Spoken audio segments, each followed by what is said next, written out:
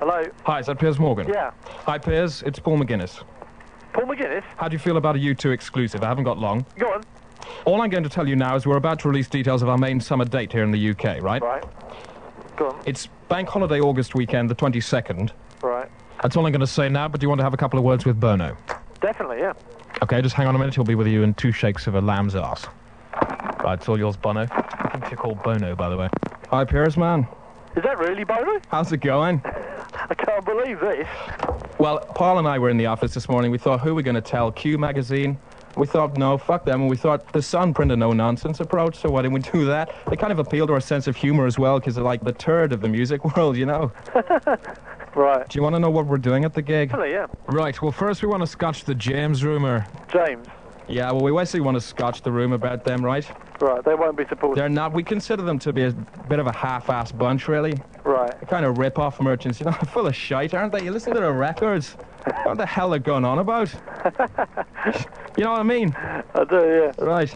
So we got uh, NWA. Right. We got a dance group with us Yeah. called God's Gestapo. Right.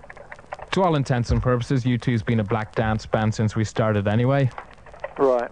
And there's one thing we've got to mention that it's actually being sponsored. It's an East German firm, Right. and they're called Schwanz. How do you spell that? S C H W A N Z. Right. And the gig's called Zeitgeist. Right. What's the idea behind that? The point is, the Zeitgeist is a sort of definitive U2 farewell. Farewell.